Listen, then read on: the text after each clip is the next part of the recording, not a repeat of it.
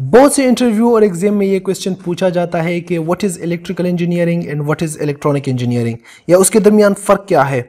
Different between electrical and electronic engineering लेकिन majority students को इसका नहीं पता होता। यहाँ तक कि ग्रेजुएट इंजीनियर्स जब इंटरव्यू में अपियर होते हैं और उनसे ये क्वेश्चन पूछा जाता है, उन्हें भी इलम नहीं होता। इट इज़ बिकॉज़ ऑफ़ कि इसमें बहुत कम फ़र्क होता है और कन्फ्यूज़न बहुत ज़्यादा होता है।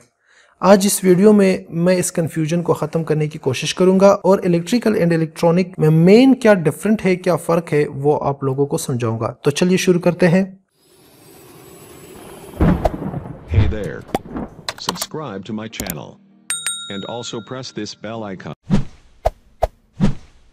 electrical engineering it is the study of flow of current in conductor like copper and aluminium and electronic engineering it is the study of flow of current in semiconductor and vacuum ये है इसमें main फ़र्क कि electrical engineering में current की flow conductor यानी copper aluminium या फिर जितने मेटल्स हैं, उनमें होती है। लेकिन इलेक्ट्रॉनिक इंजीनियरिंग में करंट की फ्लो सेमीकंडक्टर जैसे सिलिकॉन हो गया जर्मीनियम हो गया इसमें होती है या फिर विक्यूम में। विक्यूम में जो है, वो होती है कि ऑप्टिकल फाइबर का नाम अगर आप लोगों ने सुना होगा ऑप्टिकल फाइबर में जो है लाइट के थ्रू जो है, वो मैसेज ट्रांसफ़र होती है।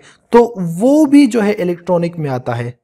अब बहुत से लोगों का ये भी सवाल रहता है कि इलेक्ट्रॉनिक कंपोनेंट या डिवाइसेस जो है, उसको एक दूसरे से कनेक्ट करने के लिए जो वायर यूज़ होती है वो भी तो कॉपर की होती है। तो कहने का मतलब ये है कि वहाँ पर तो करंट की फ़्लो फिर कॉपर में हुई।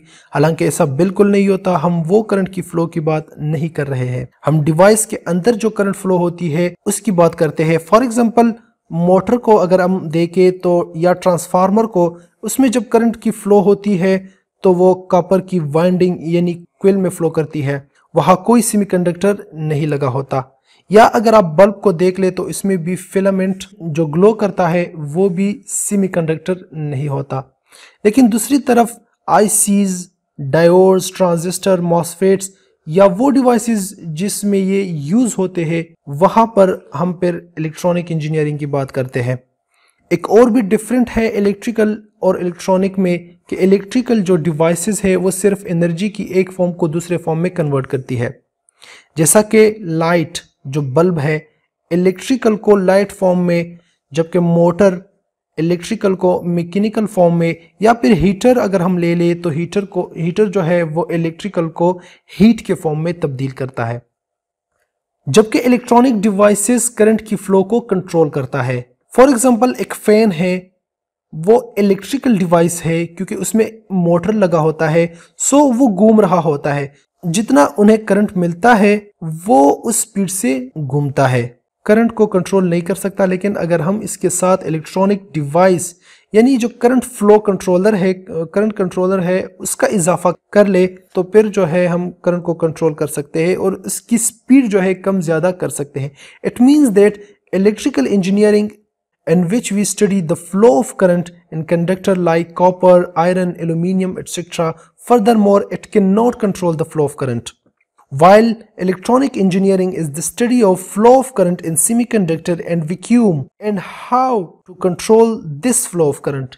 तो ये था main difference between electrical and electronic engineering अगर किसी चीज़ में मसला हो या कोई चीज़ मिस हो गई हो तो आप कमेंट सेक्शन में हमें बता सकते हैं। आपको वीडियो अच्छी लगी हो तो हमें लाइक दीजिए। और अगर चैनल पे नए आए हो तो प्लीज़ सब्सक्राइब कर लीजिए और साथ में नोटिफिकेशन बिल भी ज़रूर प्रेस कर लीजिए ताकि हमारी हर वीडियो की नोटिफिकेशन आप तक पहुँचती रहे। मिलते हैं अगली वीडियो में तब तक के लिए अल्लाह हाफिज़।